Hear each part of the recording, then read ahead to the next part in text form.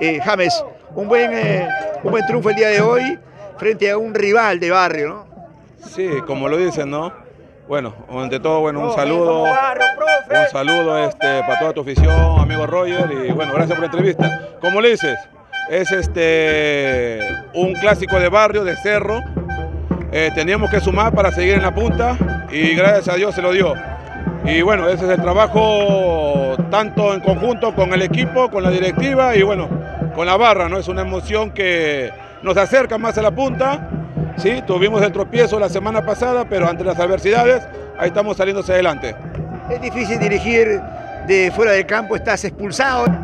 Mira, eh, te comento, eh, bueno, hay una expulsión que me hacen hace cuatro fechas atrás y, y bueno, eh, veo a otras personas, a otros técnicos, cómo se expresa, cómo dirige, cómo se meten, o sea, se comportan mal.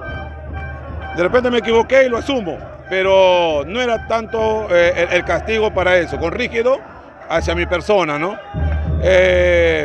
Lamentablemente no estoy dentro del campo, pero estoy atrás de la reja con ellos, dirigiendo, gritando, quedándome sin voz como lo pueden apreciar. Es difícil, pero no imposible, mi hermano.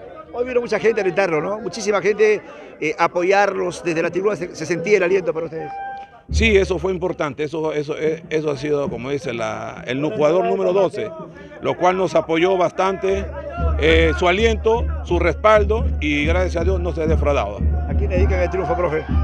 Bueno, en primer lugar, eh, a Dios, eh, que, que, nos ilumina, a mi familia, a mis padres, y bueno, para mucha gente también que quiere verlo a James tumbado, James sin dirigir, James que no llega a ningún lugar. Para esa gente también se lo digo con mucho cariño.